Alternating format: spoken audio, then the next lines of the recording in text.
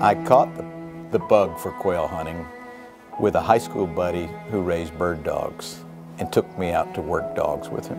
And since that day, I haven't been able to shake the bug.